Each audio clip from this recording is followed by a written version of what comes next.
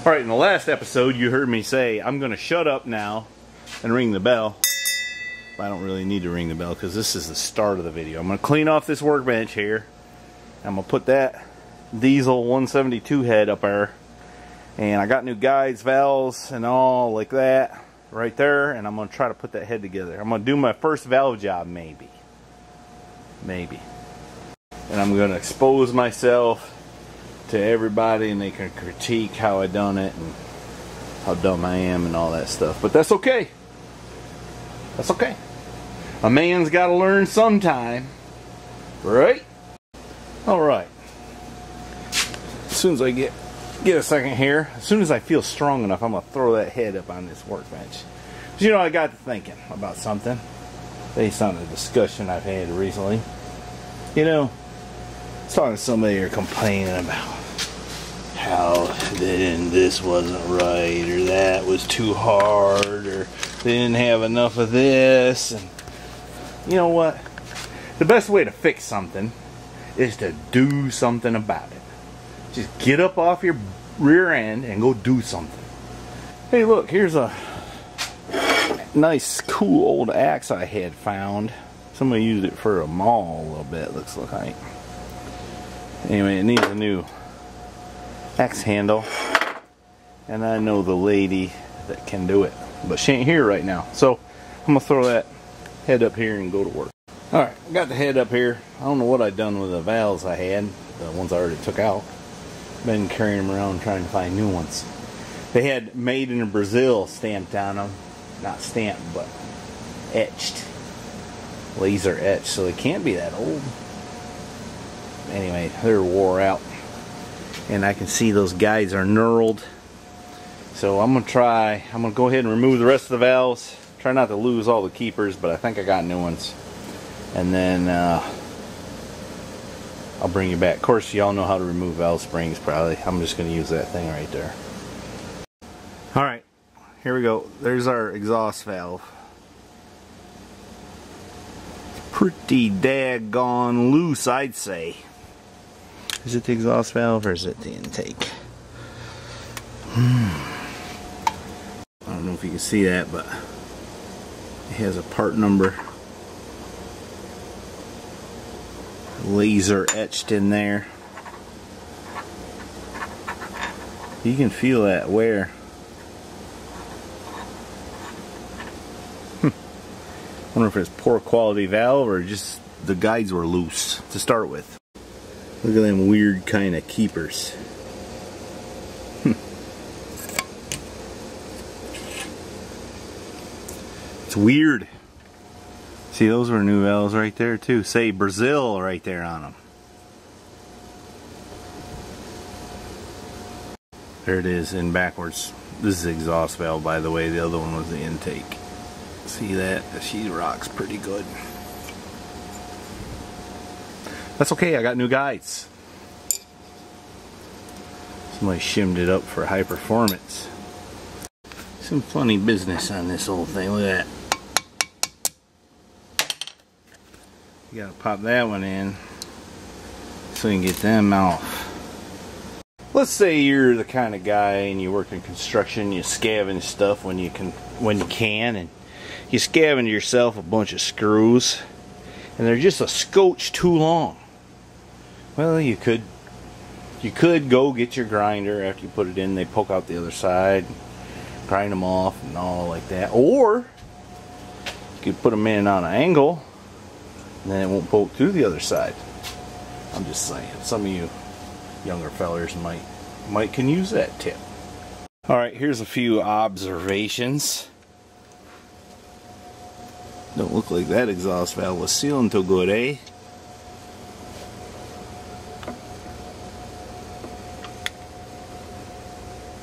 Looks like that one was hitting a little high spot, but it's probably because the guides were so bad.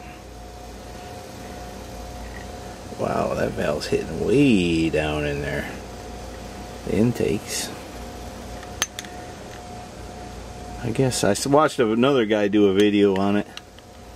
It's the same thing I'm doing. He was much more detailed and better, but his were all sunk in there like that too. So I guess, guess I'm gonna go with it.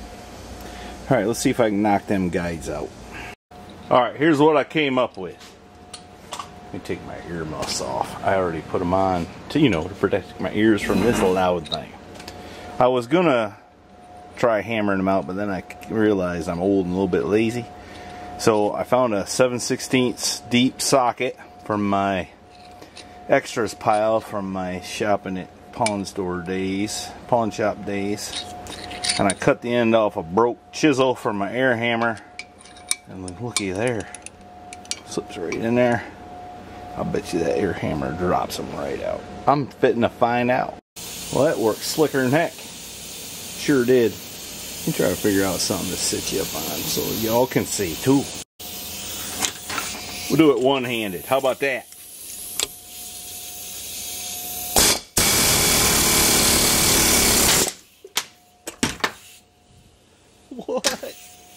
The only uh, thing is I wish it was a little bit longer.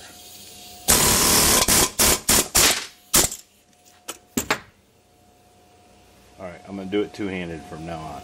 I don't know if that's how professionals do it, but that's how I'm doing it from now on. I might even have to make up a little something to drive them back in. Got to be more careful going in though. Maybe out of brass. I'll ponder that later. Alright, I think I'm going to take a wire brush and clean up these seats. What I really need is some more items in my shop. I just had to dig all that out to find these. Which, by the way, I bought at a pawn shop or auction or something. I can't remember.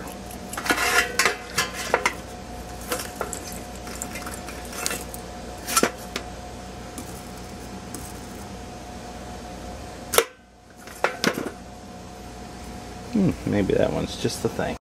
Those are the guides. It boogered up the, uh, I think those are the intake ones. Let me double check. One's longer than the other. Yeah, the intake ones are longer.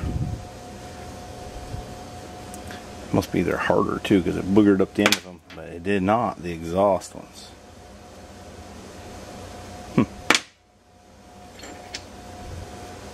At least not as bad.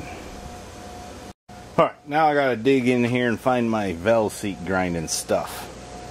You know, Jeez, I forget I even have stuff. Here's something I bought. I'm not saying it was a sketchy situation, but it sure looked like it. Felt like it.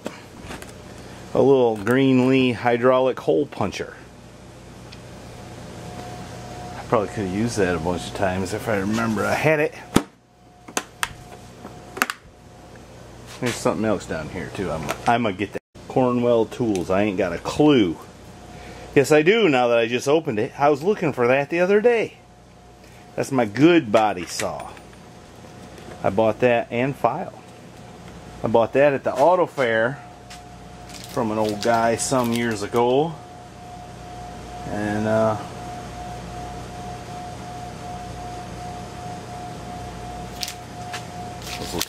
receipt from Washington, Ephrata, Washington. Anyway, I get sidetracked. It could be I have ADHD, HD TV or something like that. I don't know. Whatever it is, been working so far. That leads me to something else I've been thinking over. You know, you go and you get analyzed, and they tell you, oh, yeah, you've got a condition it's ADHD or it's something else. We need to treat that with medication. I wonder, I just wonder if older folks ever had stuff like that and without medication they were able to figure out how to make it work for them and survive. Just wonder. You know, some of the smartest people I've known are kind of quirky. Does it make sense to regulate that out of them? I don't know. It's just I'm just an uneducated guy thinking. That's all. Don't don't read me the right act. Alright, now I done got some more crap out. I found these. Neway valve seat cutters. They look like a good thing.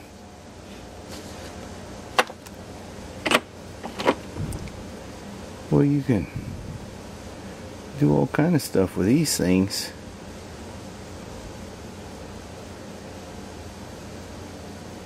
You can cut the throats out 60 degree 75 60 hmm. I don't know if that's what I want to use or whether I want to use this. What would y'all do?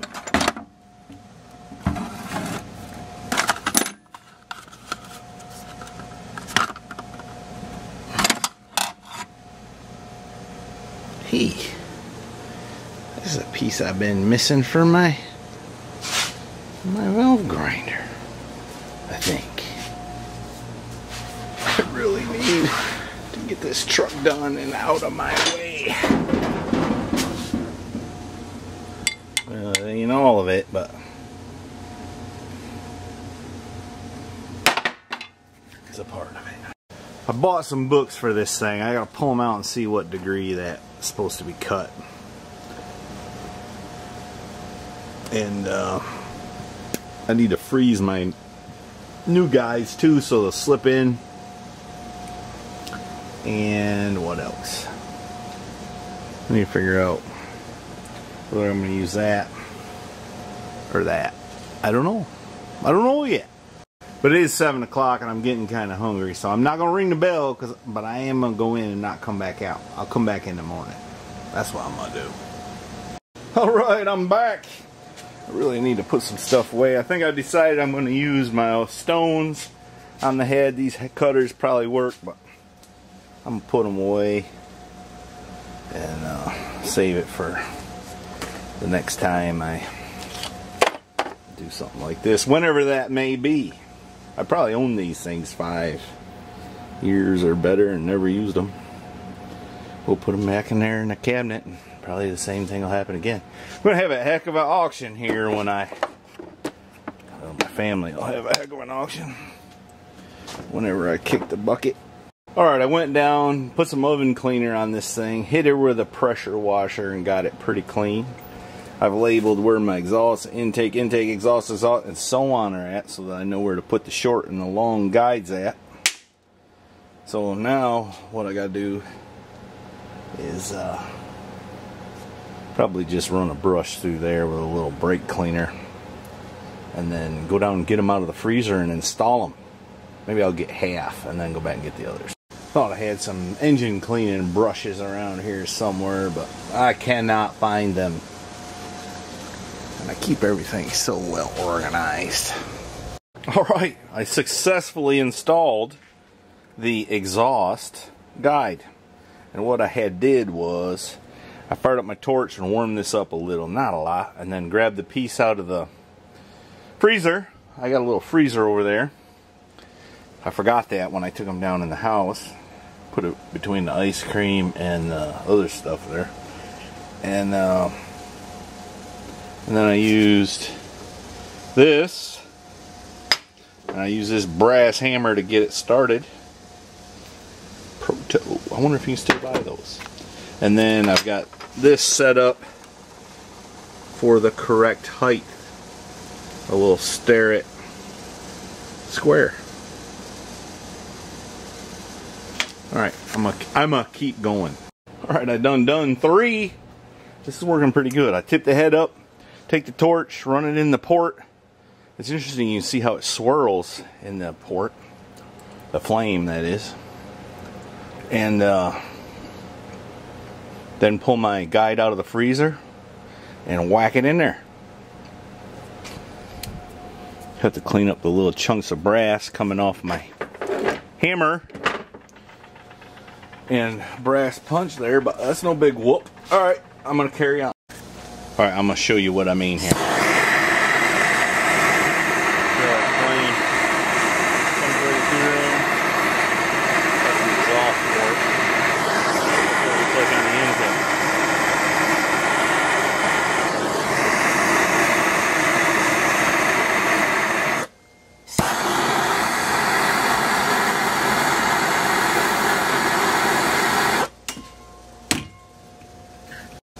All right, fresh out of the freezer, I'm gonna do this one handed. Last time I did this, it worked out bad for my thumb. I know, it's a brass hammer, so you don't want to lick those things or your lips will, your tongue will stick to them. All right, see my little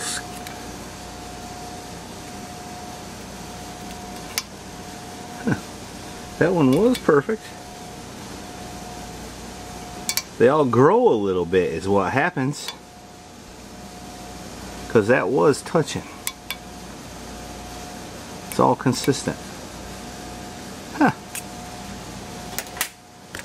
Alright, we got all the new valve guides installed. Now I need to see about these valve seats. Well, first time ever I ground some valve seats. I did the exhaust first. It didn't take much. That one did though. That one was a little bit wonk wonky. The rest of them is just a little boop, boop. Now reading this manual, it just calls for a 45 best I can tell. Unless the seat gets too wide and it's not wearing in the center of the valve, then you've got to raise or lower by cutting um, I forgot. A 30 or a 45. But let me let me see here. I mean a 30 or a 60.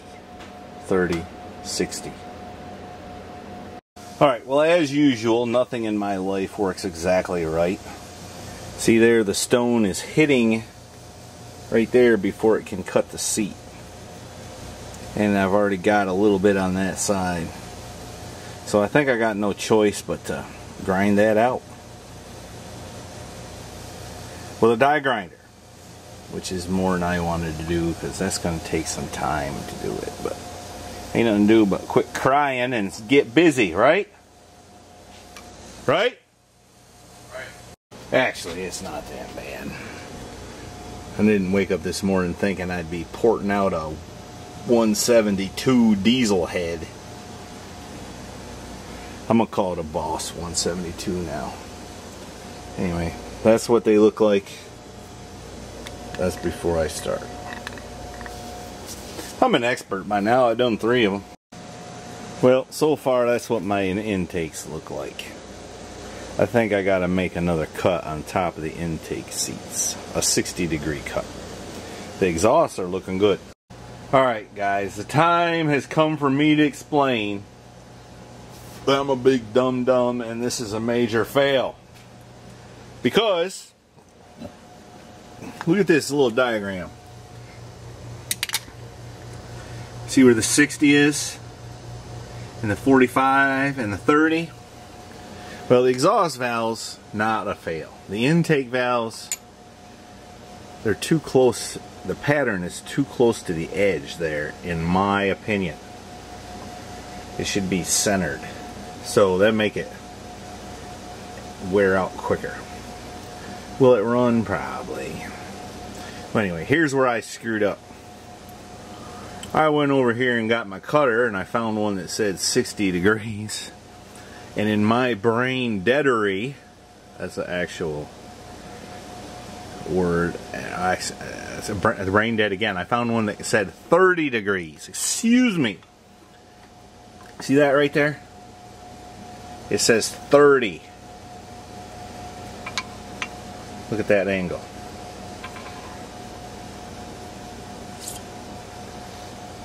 See where it cuts? Up on top. And I think I had this backwards in my head. I'll have to review the video and you can too. But I was thinking if I cut the top, it would raise the seat. But that is not the case. It lowers it if you think it through. Now look at this one. Da, da, da. Where, where'd it go? See there? It says 60. 60. See where it says 60 there? Measure it backwards apparently on the Neway valve seat cutters. Well the problem here is because of that this will not even come close to touching the seat to raise the seat. So I think the only solution I've got here is either A, just say to heck with it and run it, which it would run, but I don't think that's the right thing to do. I think what I got to do is take it to a machine shop and have them put new valve seats in it. Or maybe they'll say, hey, you're a dumb dumb, even more than you thought, go ahead and run it. I don't know, but I think I think I need a professional to tell me that. So here's what I'm going to do. I'm going to pack this up and I'm going to take this thing to a machine shop next week. I think I know a one that'll do it and see what they say. And I'm going to let them giggle and tell stories to all their old car buddies about the dumb dumb who couldn't even figure out a four cylinder tractor head for Pete's sake. Alright. So that's going to conclude this video on that subject for now. I'll post an update later when I got one. Alright, I'm going to ring the bell. with my play dog tags, they're not real. Alright. That's the kind of world I live in. The good news is, after I put all this stuff away, it'll pave the way for a 57 Chevy video tomorrow, I think. I'll be able to get that car out as soon as that boy finishes waxing it, which he's informed me is not one of his favorite things to do. Eh, go figure. You know, you gotta do a lot of things in life that ain't your favorite. Sometimes you even gotta eat stuff ain't your favorite.